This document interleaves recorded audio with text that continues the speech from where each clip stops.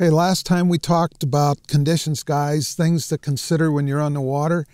We have some conditions that are going to affect the trout's feeding behavior, and you guys need to understand what those conditions are. The, the bad side of this is what I'm going to tell you.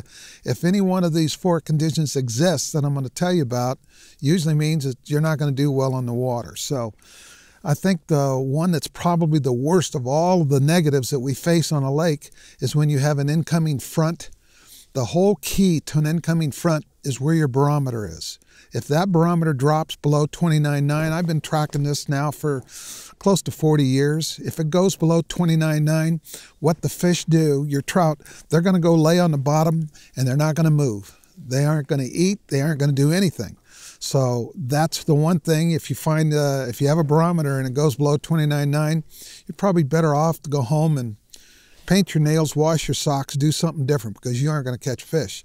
But if the barometer is falling but is still high, you'll just see that the bite kind of tapers off as the day wears on.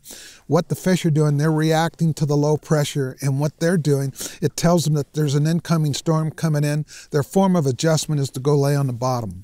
Another condition that I don't know why this is, but it is, when the wind blows, wind from the north, the bite will stop just like that, like you flip the light switch. I've been on lakes over the last 40 years where when that condition hits, those fish, I mean, they just stop hitting totally, and you're not going to do real well. Good thing about it, that wind will change directions and it might last 20 minutes, might last an hour. If it's a front coming in and it's out of the north, that's rare, but if it does occur, you're going to find uh, you're not going to have a good fishing day. Another condition that we have to deal with, and it's not necessarily one of the good things is when lakes turn over. A lake in turnover means that the, the level of oxygen on the top and the temperature are going to be the same on top as they are on the bottom. That's not a good condition. So you'll see a lot of the water will be tannic looking, that sort of thing. So if you find a lake and turn over, go find another lake to fish because you're not going to do well. The fish, they'll avoid uh, all that toxicity and they just don't want to be in there.